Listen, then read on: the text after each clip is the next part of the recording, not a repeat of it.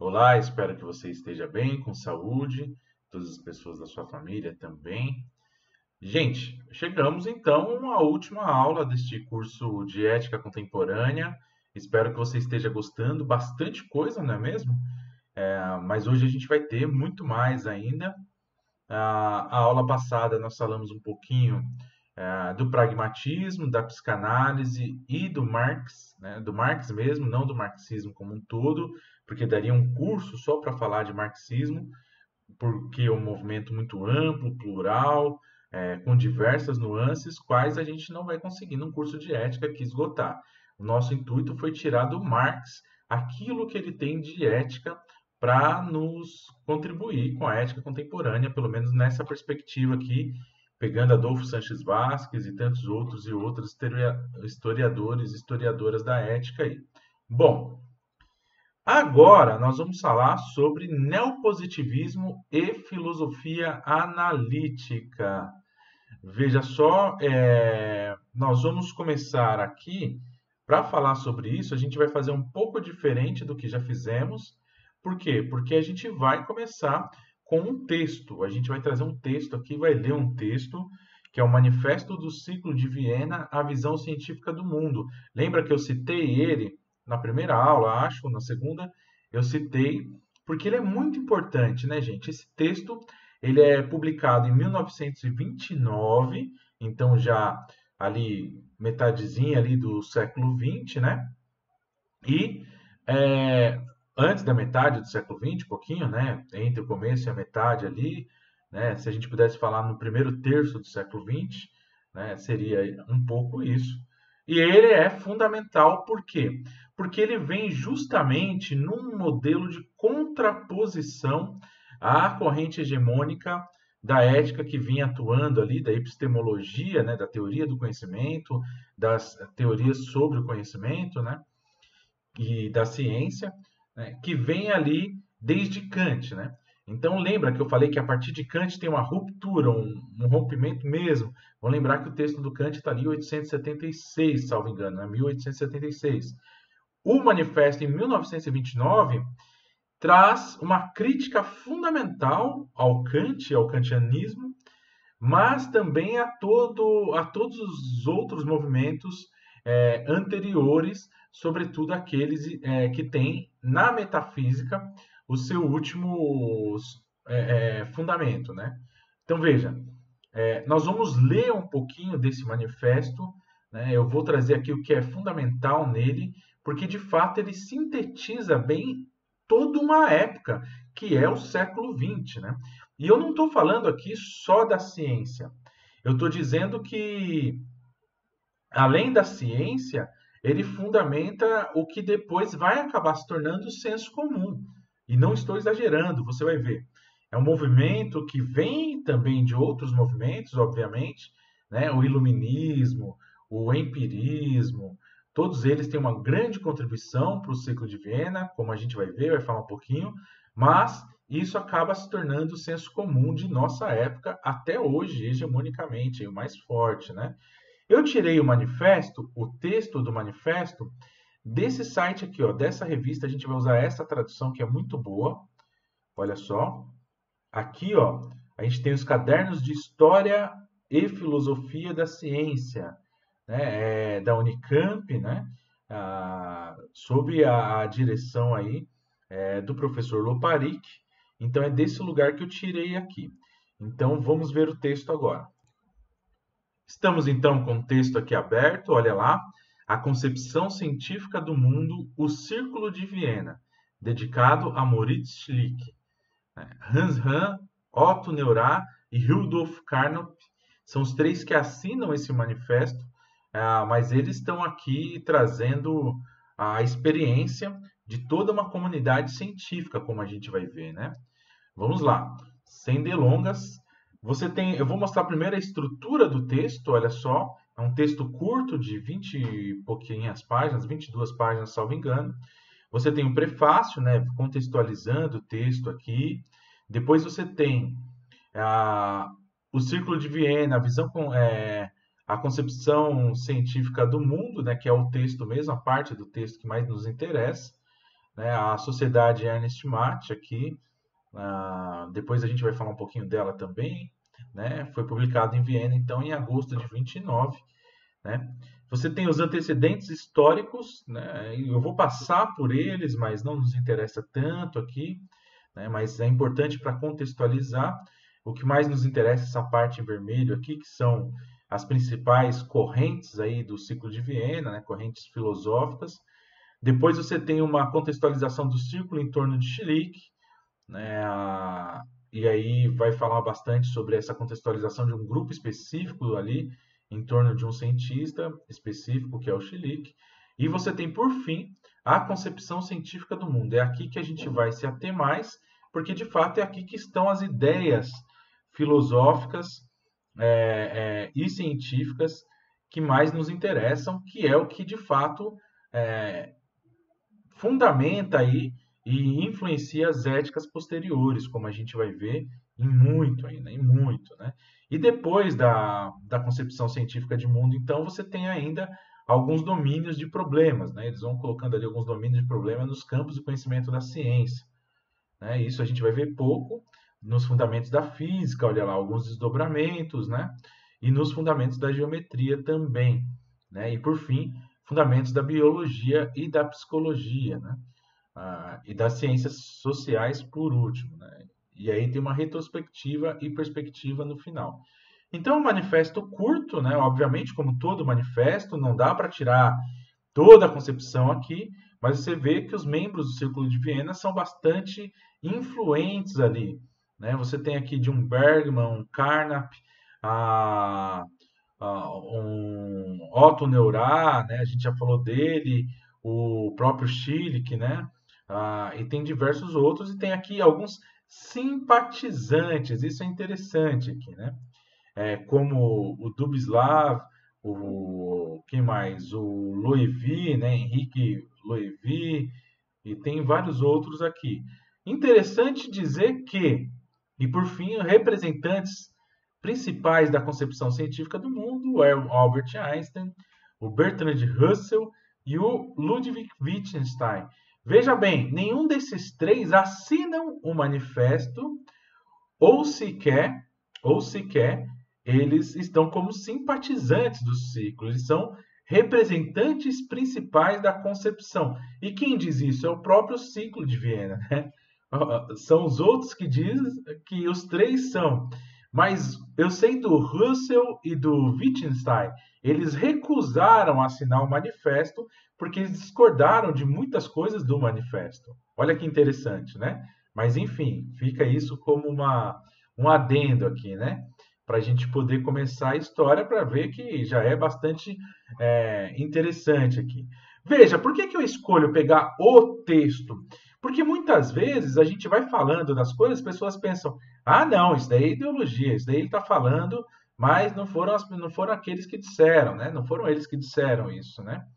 Mas então a gente vai no texto justamente para poder é, é, ver que está escrito ali, está escrito, né? O fundamentalismo exigido aí por muitos e muitas é importante em algumas vezes para poder corresponder à verdade. Vamos lá. Bom, você já começa aqui nos antecedentes históricos, olha só. Eu quero ler essa partezinha aqui, ó. Muitos afirmam que o pensamento metafísico e teologizante hoje volta a crescer. Depois ele fala assim, ó, todavia, também o espírito oposto iluminista de pesquisa antimetafísica dos fatos se fortalece atualmente tornando-se consciente de sua existência e de sua tarefa. O modo de pensar calcado na experiência e avesso à especulação está mais vivo do que nunca, fortalecido precisamente pela nova resistência que se lhe oferece. Então, ao passo que há um avanço do pensamento metafísico e teologizante, há também o pensamento antimetafísico dos fatos, né? Ah, tudo isso causado, sem sombra de dúvidas, por esse movimento sintetizado no Kant, na crítica da razão pura. E depois, né, você tem Augusto Comte com o positivismo, o nascimento da sociologia né, enquanto ciência da sociedade, ah, e diversas outras questões aqui que ajudam né, que o ciclo de Viena lance o seu manifesto com esse espírito, é dizer, olha, nós antimetafísicos estamos aqui. Lembra do Metaphysical Club, né, que nós vimos na aula anterior dos pragmatistas? Então, está é, tá nesse espírito aqui do ciclo de Viena. Né? Eles são, alguns são um pouco anteriores, mas o pragmatismo ele vai de fato ali se consolidar é, durante e um pouco depois do ciclo de Viena também. Né? Até hoje nós temos figuras como Dewey aí muito muito representado aí e muito representante deste movimento, né? Bom, vamos lá. Vamos avançar mais um pouquinho é, para a gente ler algumas questões desse manifesto. Por que Viena, né? E aí ele vai é, é, sintetizando aqui o porquê Viena.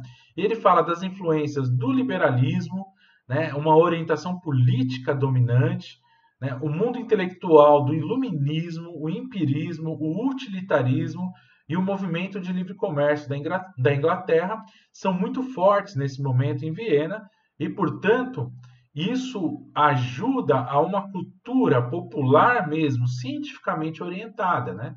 Uma ação de educação popular, por exemplo, é fundada em Viena, os cursos universitários populares, olha que interessante isso, a Casa do Povo, né, e Escola Livre. Então, são algumas iniciativas apenas que mostram que Viena, nesse momento histórico de 20, de, da década de 20 e 29, sobretudo, é, é um polo cultural e de conhecimento muito forte, né?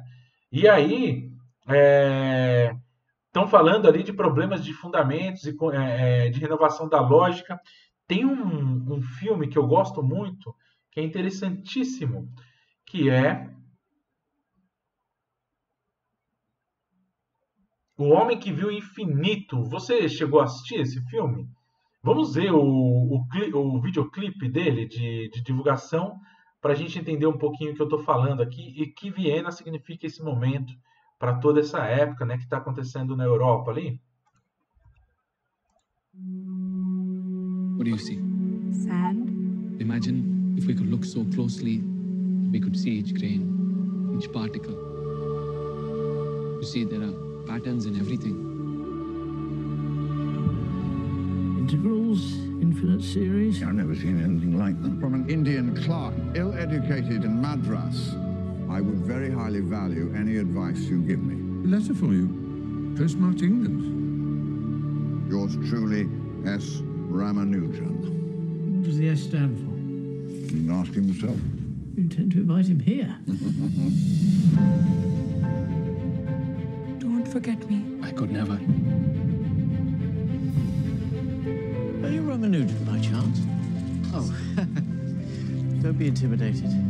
Great knowledge comes from the humblest of origins. For the good of everybody, you should attend some lectures. But I'm here to publish. The letter only contained a small sampling of my discoveries.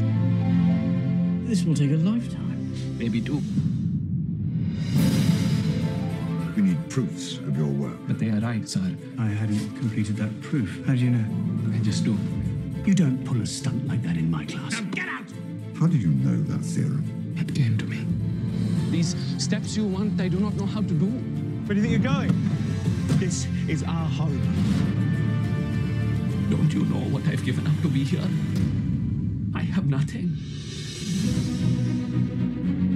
You wanted to know how I get my ideas. God speaks to me. There are no proofs. We're just supposed to take him at his word. No, you're to take him at mine.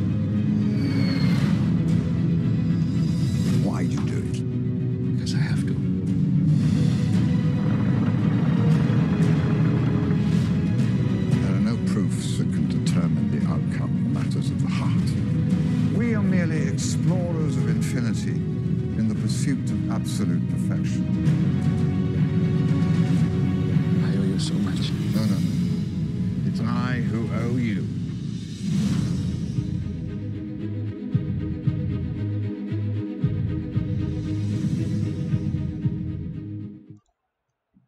Espero que você tenha gostado. É, se você não assistiu ainda, assista, vale muito a pena. Basicamente ali, o Bertrand Russell, né, esse matemático é, que nós citamos há pouco é aquele cara ali que orienta né, o menino que vem lá da Índia é, com a tese do infinito, né, dizendo que existe um infinito, que ele conseguiu uma comprovação matemática ali do teorema do infinito. Ah, e de fato é uma história verídica, né? Isso ocorreu e, e, e isso mudou de alguma forma a matemática na cultura ocidental, né? É, só isso, né? Nada mais. Mas veja, e ali está justamente em discussão essa questão de problemas de renovação da lógica, da metodologia, né, o papel da intuição, da imaginação, da sensibilidade. O ciclo de Viena quer rejeitar tudo isso. Ele quer justamente é, orientar toda, todo método científico a partir da empiricidade, né? ou seja, da experiência empírica, da experiência concreta, física. Né? Mas a gente vai é, vendo isso agora no decorrer do texto. Né? Então, essa parte da lógica está aqui contemplada. Aqui, né? Bom, vamos lá, vamos avançar mais um pouco. A recusa da metafísica, portanto, é comum a todo o ciclo de Viena, né? e é digno de nota que em Viena também, no domínio da economia política, foi cultivado um rigoroso método científico pela Escola da Utilidade Marginal.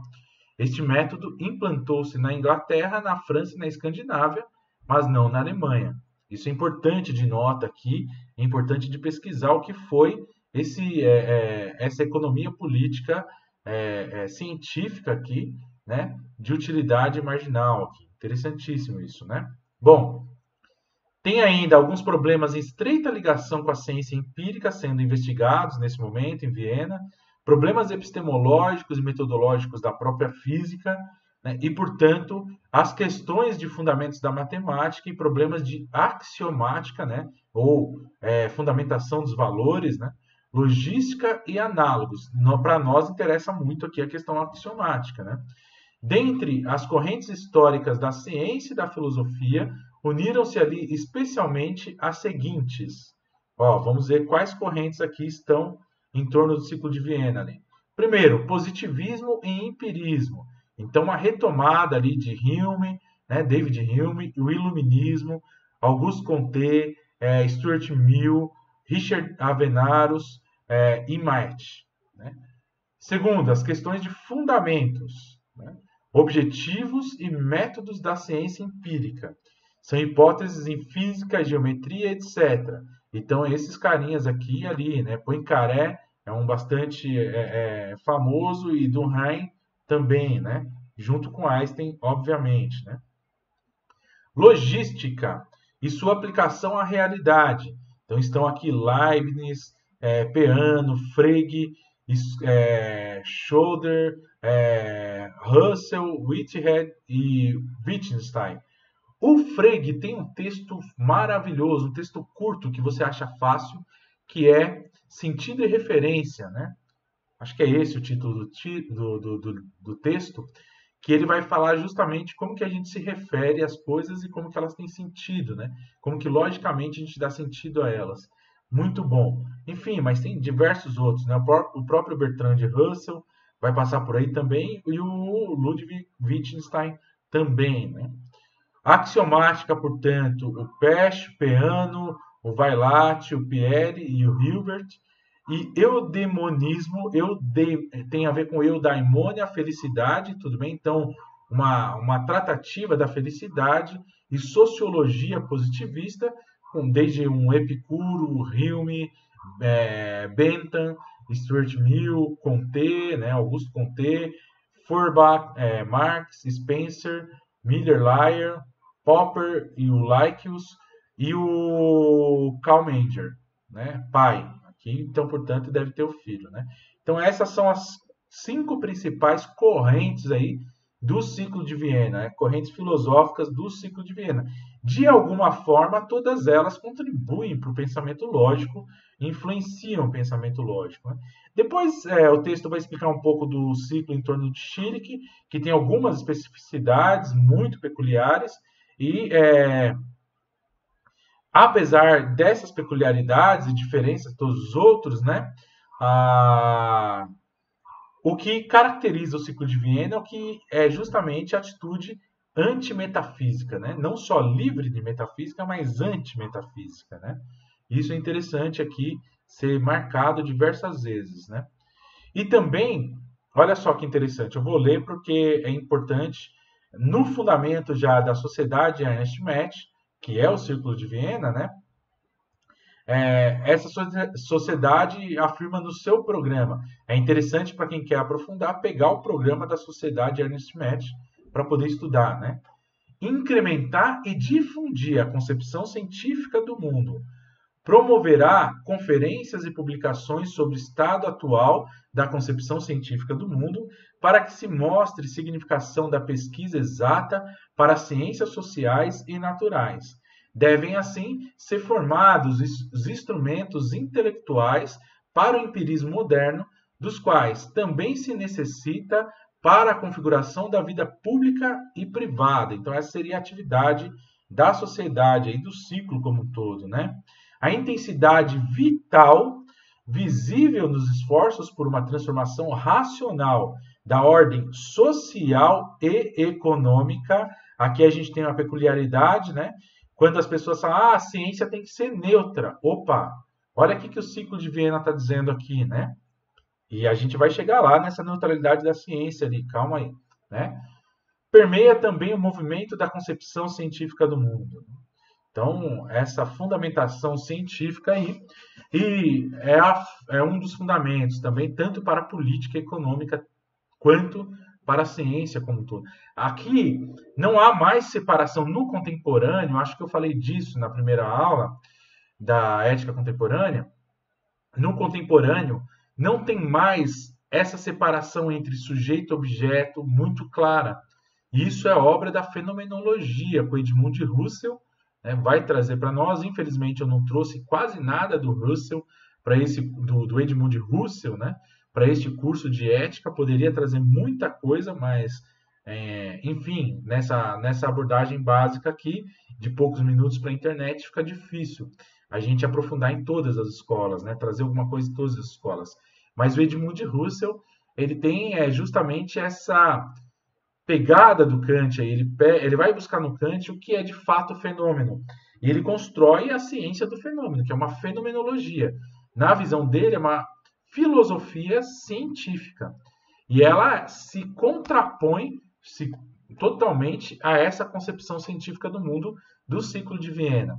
O ciclo de Viena é também uma reação a ela e a toda a fenomenologia ali surgida desde Kant, né? Só que o Russell está nesse momento da história, junto com o ciclo de Viena, construindo a sua filosofia, né? Por isso que é verdadeiro que tanto as filosofias, né, é, que apelam ainda para uma fundamentação metafísica, quanto essas que apelam para uma fundamentação empírica, elas estão em constante construção, evolução nesse momento, e ainda não se tem uma clareza do que serão, né? Está tudo acontecendo naquele momento histórico. Muito frutífero, diga-se de, de, de passagem. Bom, a concepção científica do mundo tem por objetivo a ciência unificada. Gente, esse é um projeto do Francis Bacon e do René Descartes, lembra deles? Lá em 1600 e pouquinho. Ambos têm justamente esse como seu primeiro princípio. A ciência precisa de unificação, ela precisa ser unificada. O Descartes, inclusive, começa a trabalhar um idioma científico universal, para que a, toda a ciência fale a mesma língua. Ele desistiu do projeto, mas ele começou.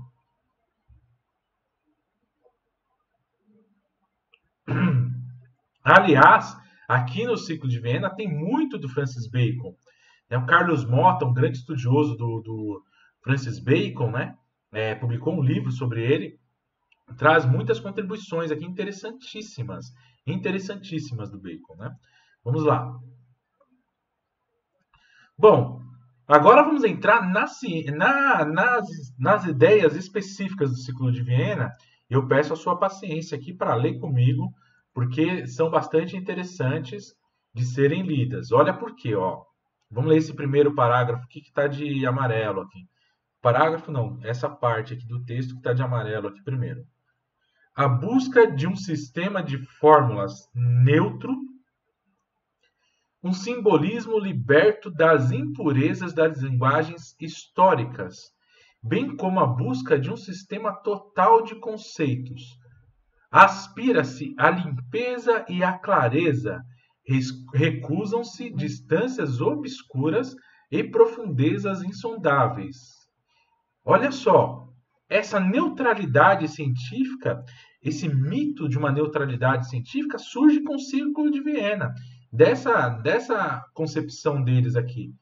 Mas a gente acabou de ler ali acima, na contextualização, que eles querem também uma transformação política e econômica. Veja, então, né? Então, há aqui uma política, há uma filosofia política liberal como um fundamento dessas próprias ideias científicas aqui. Dizer que busca-se é, um sistema de fórmulas neutro, liberto das impurezas e linguagens históricas, é uma contradição fundamental. Fundamental, né, gente? Não dá para bancar isso. Né? Não dá para defender isso ainda, né? Essa neutralidade científica é impossível, como a gente sabe muito bem hoje, né? Mas à época isso caiu muito bem, muita gente entrou nessa aí, muitas escolas filosóficas, muitos filósofos e filósofas da ciência foram por aí, né? Continua, vamos lá. Na ciência não há profundezas. A superfície está em toda parte. Tudo o que é vivenciado forma uma rede complexa, nem sempre passível de uma visão panorâmica e frequentemente apenas apreensível por partes.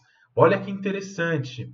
Então, essa busca pela, por uma ciência que trata da superficialidade e que ignore as profundezas, né, porque elas não interessam para a ciência, é interessantíssima. Lembra que eu falei no começo da aula que muitas dessas ideias se tornaram senso comum? Gente, olha, olha para a janela, né? Sai na rua, você vai ver que só o que interessa hoje é a superficialidade. Veja as redes sociais, veja a, superficialidade, as aparências, as profundezas são evitadas e são negadas. Claro que não por você que está fazendo esse curso de ética, mas pela maioria, grande maioria das pessoas do mundo, né?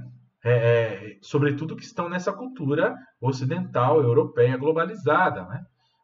Não há profundezas, tudo o que interessa é a superfície. Continua.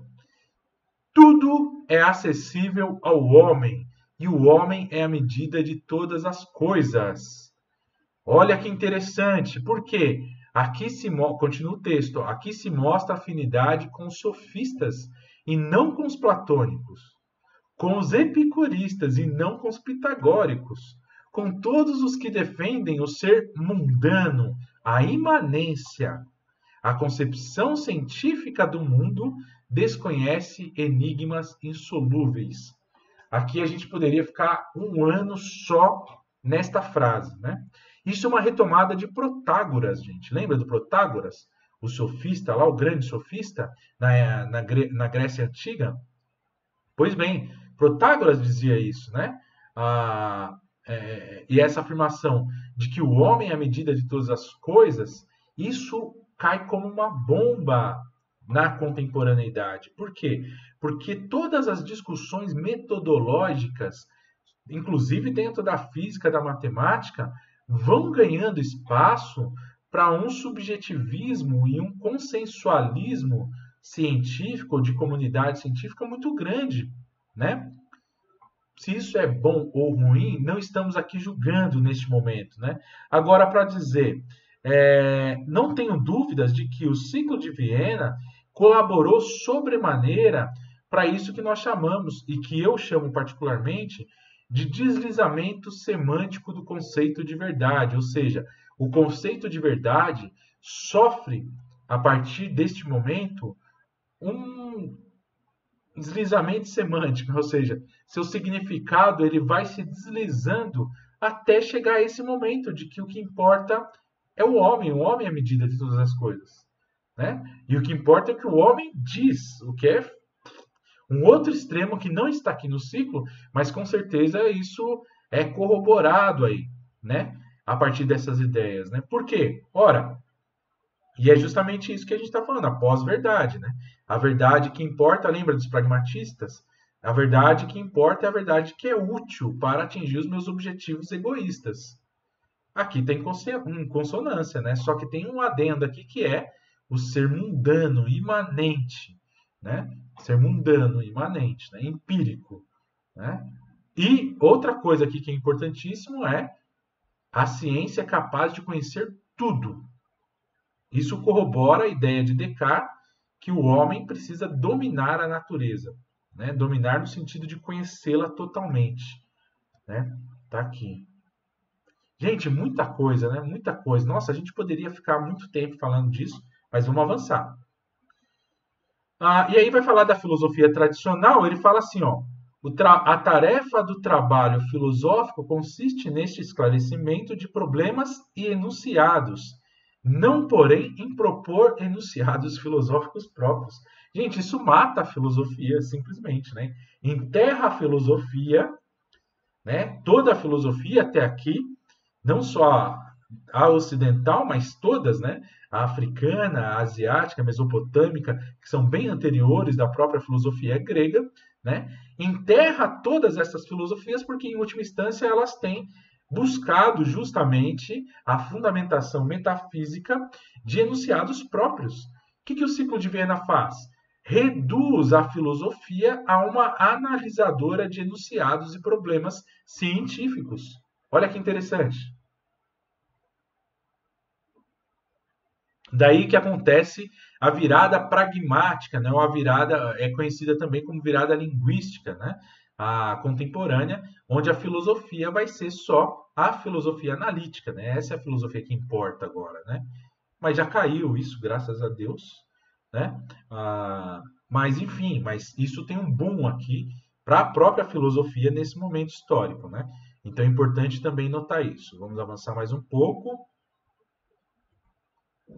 Essas são as ideias fundamentais do ciclo de Viena, né? Ó, o método deste esclarecimento é o da análise lógica.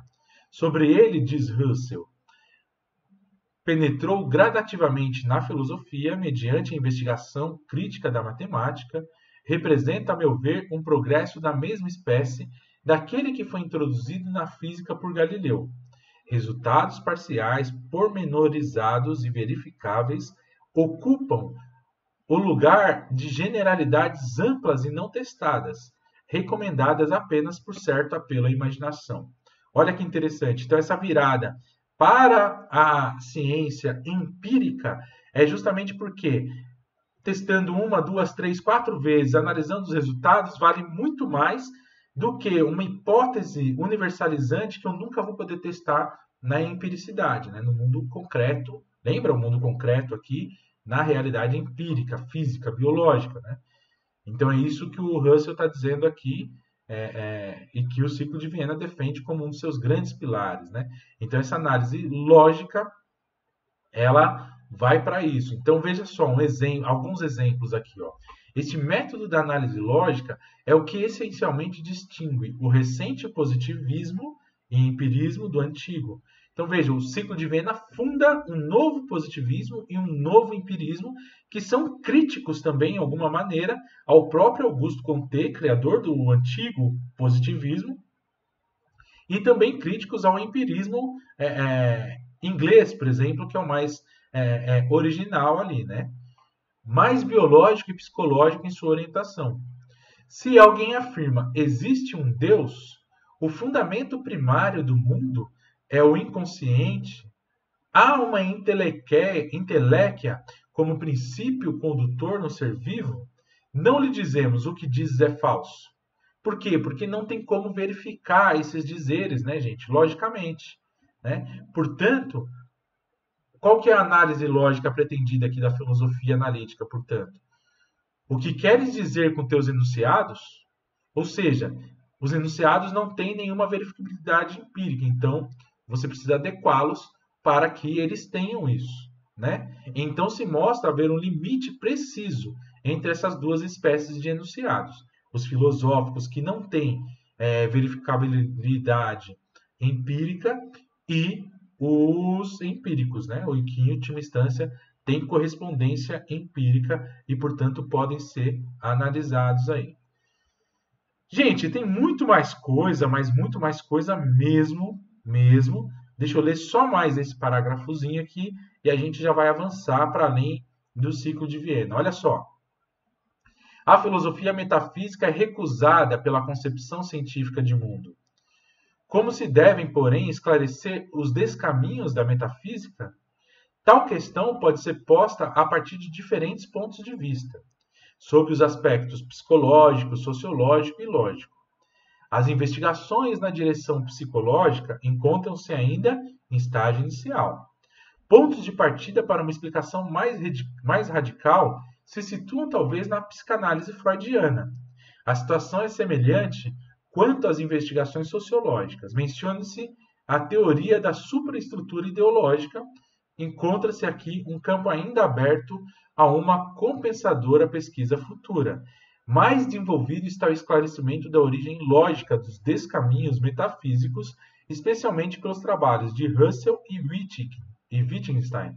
Do Wittgenstein, isso poderia ser verdade no Tratado Lógico-Filosófico, né? mas o outro livro dele, que é justamente esqueci o nome do, do texto do Wittgenstein, o segundo grande texto dele, meu Deus. Ah, peraí, eu vou lembrar. Investigações filosóficas, claro, né? Nas investigações, o Wittgenstein ele vai mais para uma pegada é, é, contrária aqui a tudo isso que está dizendo o ciclo de Viena, né? Em última instância, ele vai dizer: olha, nós não podemos dizer o que são as coisas. Nós podemos, no máximo, nos aproximar do significado delas por analogia. Olha que diferente, gente. De, é, não há enigmas insondáveis para a ciência, né? O Wittgenstein é um total crítico disso, né? Não investigações filosóficas, né? E aí é, é, ele vai romper totalmente com essa visão aqui, se é que alguma vez ele aderiu a essa visão, né? Tenho minhas dúvidas, né? Enfim, mas é, e aí, portanto, inclusive, é, esse desprezo pela metafísica, nas investigações filosóficas, nós não encontramos isso muito claro, né? Até porque é, depois o, o, o, Wittgenstein vai gerar um, um, tipo de mística na filosofia, né? E, inclusive, com a sua, com o seu exemplo, né? De parar de escrever filosofia, parar de fazer filosofia e fazer jardinagem, né? Então, é, tem muita coisa interessante aqui, né, nesse meio aqui, mas a gente não vai se aprofundar nisso, né? A gente não vai se aprofundar nisso, né? Ah, tem o anticantianismo, né, como eu já falei. Então deu para a gente pegar um pouquinho aqui do geral, que é o que a gente vai falar agora e vai tratar é, nas outras correntes filosóficas que é, fundamentam mesmo eticamente, influenciam muito a ética contemporânea também. Vamos lá então. Espero que você esteja gostando. Muita coisa, né? É, infelizmente, essa linguagem de vídeo gravado, ela não permite interação, como eu já disse. Isso é ruim para o professor, mas é ruim para você também, que você não consegue perguntar e tal. Mas se você for formando dúvidas, já disse, procure nas redes sociais, né? todas elas. Estou tentando ficar presente ali, pelo menos Facebook, Instagram, é, TikTok e YouTube. Né? Lanço é, é, vídeos aí, lanço material em todas elas, na medida do possível, obviamente. Ah, então eu gosto muito quando, quando vocês que fazem meus cursos procuram por ali para a gente poder conversar, dialogar, né? ver outras perspectivas também, que eu acho muito interessante. E eu uso delas também para atualizar as coisas. Vamos lá. Bom, Moore, né? Moore, Moore, né? reconhecido como Moore, né? mas é, George Edward Moore né? lança em 1903, portanto anterior ao ciclo de Viena, esse livro chamado Princípia Ética. Né? Ah, importante dizer que o Vasquez, o Adolfo Sanches Vasquez, ele inclui em todos é, as éticas neopositivistas e da filosofia analítica todas aquelas que tentam estipar a metafísica da reflexão moral. Né? Isso é importante aqui. Então, como a gente já viu, o ciclo de Viena, que está 27, 20, 23, 26 anos depois do princípio a ética, ele tem ali uma fundamentação dogmática, né, gente? Só pode ser ciência aquilo que é empírico e passa pela análise lógica dos enunciados, né? É dogmático isso, né? chega a ser dogmático. Por quê? Porque eles querem de fato unificar a ciência. Antes disso ainda, o Moore, olha só, é, ele tem uma concentração na ação, na análise da linguagem moral. Olha que interessante, tudo a ver com o que o ciclo de Viena vai falar depois, né? Aqui a moral, portanto, ela se analisa a partir das, da linguagem. E aí você tem um monte de gente é, é, que, que faz isso nesse momento histórico e é, são importantíssimos aí. Você tem o Adger, o Stevenson, o Hare, o Noel Smith e tem o Tomin. O Tomin tem um livro bacaníssimo sobre o Marx e ele vai analisar a estrutura linguística da obra do Marx. É muito interessante. Recomendo demais. Bom, todos eles de alguma forma reduzem a tarefa da ética à metaética. Portanto, é uma análise do discurso da ética e não análise dos comportamentos, como a ética faz, né? é uma análise das, da moral. Não, aqui é uma metaética, né? E, portanto, eles se declaram neutros nas questões morais. De novo, esses três, né? Ah, três outros, né? no Metaphysical Club também dividi em três, sempre trago três porque eu acho um número suficiente mas tem muito mais gente envolvida aí, né? Aqui a gente tem o Moore, o Pischer e o Ross, que são três, são mais próximos ali, né? Para a gente dizer o que é, o que seria de fato uma filosofia analítica aqui e de contribuição para a ética, né? Eles dizem assim, olha só, o Moore primeiro diz, se o bom é indefinível, e isso é verdade, né? O bom é indefinível, e existe como não natural, portanto, nada que é natural é bom ou mal. Né? A gente vai constituindo isso na sociedade. Né? Ele diz que isso só pode ser captado pela intuição. Lembra do antirracionalismo que eu falei? É, que é uma marca do contemporâneo, das éticas contemporâneas? É isso, né? Então aqui o bom e o mal só podem ser intuídos, né? Então, ele afronta as concepções quais define como falácias naturalistas. Né? Então, não há bom e mal por natureza. Né? Isso são falácias naturalistas e isso só pode ser intuído. Né? Porque não existe nada bom ou mal por natureza, tudo é social, a ideia de bom e mal. Tem um livro do Nietzsche, Friedrich Nietzsche, ah, ele deve estar por ali. É... Está difícil, está mais difícil de achar, faz tempo que eu não pego mas é para além do bem e do mal. Eu acho ele fundamental. Mas também, assim falava Zaratustra, eu acho que é, mexem bastante com essa noção de bondade de maldade como questões sociais, né? não são naturais. Isso é interessantíssimo aqui, é, trazido pelo Moore em 1903. Né? O Pischer e o Ross, é, eles aplicam a mesma forma, né? Agora, eles aplicam isso também aos conceitos de dever, justiça e obrigação. Olha só, se a moral não é natural, o que deve ser realizado, né, o que é justo e o que nós somos obrigados ou não a fazer, tudo isso é social, tudo isso é convenção social. Né? Nada disso é natural. Olha que interessante. Né? E o Pritchard lança uma pergunta que eu trouxe aqui que é fundamental, né? que é a filosofia moral se assenta no erro, portanto?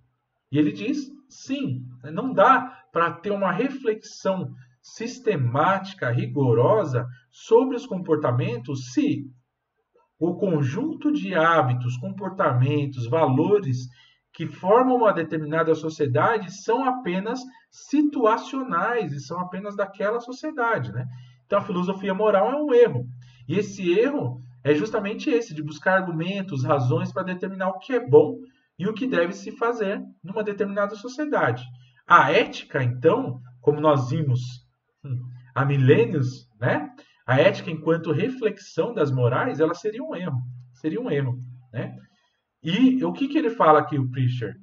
O seguinte, quando na verdade essas questões nós vamos aprendendo intuitivamente. Aqui tem muito de Aristóteles, viu, gente? De Kant também. Tem muito aqui, né? O, o Aristóteles perde a esperança. Ele fala, olha, em última instância, o povão, o Aristóteles, vamos lembrar, um grande aristocrata, né? Ele fala, em última instância, o povão não vai compreender essas coisas, né? De ética, de que dos comportamentos bons, que a gente deve intuir isso. Então a lei deve obrigá-los a fazer as coisas, né? O Kant não. Kant tem uma coisa mais intuitiva, mais do sujeito aqui, e que tem a ver com o próprio esclarecimento do sujeito, né? Então você garante uma cultura e uma educação. Lembra o ciclo de Viena aqui? É, em Viena você tem ali uma cultura científica popular para o Kant era isso que devia ser feito em toda a sociedade. Por quê? Porque as pessoas ilustradas, as pessoas esclarecidas, elas conseguirão intuir né, o que é bom e o que não é numa determinada sociedade. Interessante, né? Interessantíssimo. Agora, se a gente for trazer isso para o Brasil, né, minha gente? E para outras sociedades latino-americanas, enfim, né, não parece funcionar muito bem. Mas vamos lá mas tem todo sentido aqui essas reflexões nesse momento histórico. Vamos lembrar que a gente está falando de 1900 aqui, né? Bom, cairia então Pritchard e esses caras todos analíticos num intuicionismo lógico? Não, né? Vai dizer o Vasquez que não. Por quê? Na obra Linguagem, por, exemplo, Linguagem, Verdade e Lógica, do Alfred Ager, né, ou Ayer, né, positivista lógico, ele dá um passo além do intuicionismo ético da análise da linguagem do neopositivismo. Né? Então não dá para enquadrar todos nesse intuicionismo aí, né? Todos os conceitos éticos são apenas tentativas de expressões das emoções humanas. Olha que interessante. As proposições morais carecem de valor científico. É a negação radical, portanto, da ética enquanto conhecimento. Não, né? a, como eu estou tentando aqui sintetizar, como que a gente pode explicar isso? A ânsia de fundamentar, de dizer o que é bem, o que é mal numa determinada sociedade, é uma, uma expressão, ou são expressões emocionais das pessoas dessa sociedade. Portanto, a gente pode imaginar que existe um espírito aqui, né? Um espírito no sentido clássico da palavra, que é coletivamente as pessoas de uma determinada sociedade elas agem de uma determinada forma simbólica que as emoções delas levam a gente a acreditar que bem e mal são isso ou aquilo. Olha que interessante. E portanto não é um conhecimento, é apenas uma expressão emotiva, uma expressão das emoções. Né? Então não dá aqui para a gente poder de fato dizer que isso, que a ética seria um conhecimento. Não, a ética é uma análise das emoções, né, em última instância, né? E aí então começa o grande campo do estudo da linguagem emotiva, né, com Charles Stevenson afirmando que os significados éticos não só é, são expressão da, é, das emoções, mas produz emoções nos outros. Olha a desgraceira aqui, né, minha gente? Porque imagino que o que fazem com isso ainda hoje, né? Olha só. Então, vou repetir isso aqui para você. Né? É, os significados éticos não só são expressões das emoções, mas produzem emoções nos outros. Então, você estudar as emoções, estudar a linguagem emotiva, serve para quê? Para você produzir emoção nas pessoas. Olha só que coisa, como que isso é perigoso, né? É, o Richard Hare, na é, The Language of Morals, em 1952, ele analisa o quanto que a partir da linguagem prescritiva é possível sugerir modos de ações. Né? E o Noah Smith, que a gente tinha dito antes, em 1954, né, ele sustenta que as palavras ou enunciados podem desempenhar os dois papéis, expressivo e afetivo, e outros ainda, né? a depender do contexto que eles são utilizados. Né? Vejam, é, eu, eu achei interessante eu trazer aqui algumas questões que o Vasquez coloca para a gente pensar. Né? A primeira delas é: é possível estabelecer, em última instância, esta estrutura de que a linguagem moral é o meio pela qual as relações afetivas se manifestam no mundo real e a função social que a moral desempenha? Isso é importantíssimo, né? Essa é uma primeira questão, né? Que que, que ele está perguntando aqui para a gente? Toda a sociedade permite que a gente consiga compreender essa estrutura moral né, por meio dos discursos, da análise dos discursos ou das emoções, né? Ah, e o, o, papel que essa moral desempenha na sociedade, né? isso é importantíssimo, né, gente? Importantíssimo. Né? E, sobretudo, Stevenson né, reconhece que os grandes problemas morais começam justamente quando há o limite da análise. Né? Então, o vai trazer isso. Né? Por quê? Porque nem toda a sociedade, e eu citei o exemplo aqui da América Latina, né? Gente, América Latina, as constituições étnicas dos nossos povos, elas são emotivas, né? Eu ia falar emotivaças, né? Por quê? Porque elas são emotivas, né? O povo brasileiro, ele é extremamente sensível, estético, né? Então, é, o povo brasileiro aqui, no geral, né, se é que a gente possa dizer isso, mas todos os povos brasileiros, de alguma forma, carregam, sobretudo hoje, ainda que no confronto com essas éticas, com essas é, é, correntes filosóficas, com a cultura ocidental, a gente carrega esses confrontos na cultura, né? Em última instância, vai dizer o Vasques, né? É preciso que se tenha presente que os juízos morais e a linguagem moral estão relacionados com a moral existente na vida social, na vida prática. Né? Então, muitas vezes, eu ouso dizer aqui, na maioria das vezes, essas estruturas emocionais e essas, os discursos emocionais não são é, logificáveis, por assim dizer, não são enquadrados nas lógicas, né? não é possível. Por quê? Porque não são lógicos, eles são intuitivos, eles são, é, como bem disseram alguns, né? É, analíticos, né? eles são de fato aqui emotivos é, particularizados em situações, são situacionistas. Né? As expressões emotivas né, são muito situacionais. Né? Ah, eu, eu gosto de, de dizer que a nossa cultura brasileira é uma cultura totalmente ampla e plural, né, em todas as suas perspectivas, seja ela na cultural, na das instituições sociais ou na política econômica. Né? Nós temos diversos modelos hoje vigentes no país né, que qualquer pessoa que tente aplicar uma, uma análise, né, é, que seja uma análise com metodologia única, vai se perder, né? Por quê? Porque não são possíveis, né?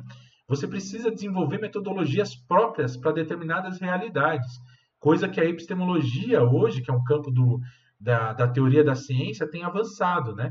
Nós precisamos de uma pluralidade epistemológica. O Karl Popper vai dizer isso, né? Bastante, mas mais que ele ainda, o Paul Feyerabend, né? ele vai dizer isso no anarquismo epistemológico, é justamente isso. Né? A realidade diz qual é a metodologia que precisa ser desenvolvida para poder estudá-la bem. Né? Então, esses intentos do neopositivismo e da filosofia analítica caíram demais né? nesse sentido. Primeiro, numa contradição fundamental, que é aquela que eu apontei aqui, de uma pseudo-neutralidade científica, né? ainda que afirme que tem um desejo de transformação política desde o liberalismo.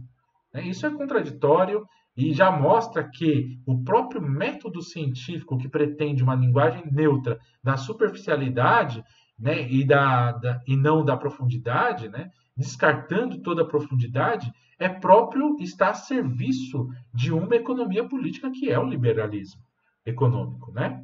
Então, isso tem que ser dito, né? tem que ser deixado bem claro. Agora, e aí eu vou deixar um problemão aqui para a gente pensar o avanço científico e tecnológico conseguido no século XX, né, por conta dessas metodologias científicas neopositivistas, neopositivistas né, no geral, que descartam a profundidade, é inegável. Né? Ou seja, o avanço que nós tivemos em um século foi muito maior do que todos os outros séculos da história juntos.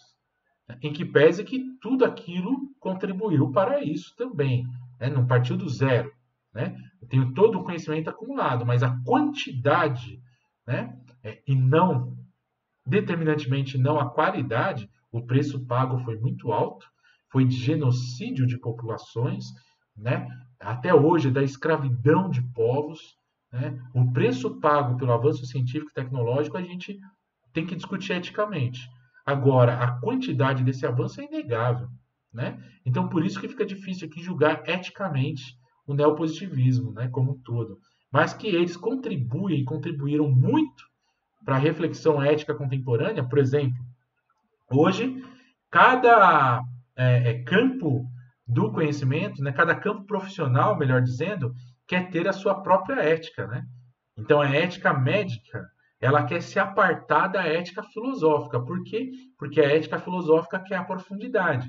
A ética médica não quer a profundidade quando ela quer o desenvolvimento científico tecnológico sem pensar no preço pago. A bioética é o campo do conhecimento que é de fato aquele que vai ajudar a pensar o desenvolvimento científico e tecnológico desde uma ética contemporânea aplicada à realidade do desenvolvimento científico e tecnológico, né? A bioética hoje ela bebe de todas essas correntes filosóficas que eu falei aqui e muitas outras, né? Muitas outras, né? Esse curso, gente, infelizmente eu não trouxe nenhuma filósofa mulher. Explico, porque o intento dele é falar da ética ocidental. A ética ocidental é extremamente machista, sexista, etc. E, portanto, eu apresentei principais, as principais correntes éticas aqui, ainda que eu fosse fazendo links e dando alguns, algumas sugestões de outros pensadores e pensadoras. Né? Eu quero lançar neste curso de ética, que esse daqui é só uma primeira parte, que é o, o curso de ética contemporânea, né, básico, eu comecei agora, e aí eu vou fazer o, de, o curso de ética moderna, o curso de ética é, na cristandade medieval e na antiguidade grega, para depois fazer um, um curso de ética crítica. Esse curso de ética crítica será apenas com autoras mulheres, autores é, e autoras fora da cultura ocidental, para a gente poder contrapor toda essa ética ocidental aqui. Eu espero que você tenha gostado, né? Eu gostei bastante, fica como registro e como uma primeira iniciativa aqui desse curso básico de ética, que não vai ser um curso básico, né? vai ser um curso da ética ocidental, que você percebeu que ele traz alguma profundidade. Agradeçamos ao Adolfo Sanches Vasques, a metodologia dele de tratar a ética é muito boa, mas eu vou trazer outras perspectivas depois metodológicas também, como a do próprio Henrique Dussel, do Emmanuel é, Levinar, da Tine Mbembe, tenho lido bastante, né? E de outras coisas também que eu vou trazendo aqui, tá bom? Um grande abraço, é, muito obrigado por confiar em meu trabalho, por ajudar. Adquira também os outros cursos, que assim você me ajuda como professor e me incentiva a produzir mais materiais como esse. Até mais, um abração, tchau, tchau. Nos vemos nas redes sociais e nos vemos nos outros cursos também.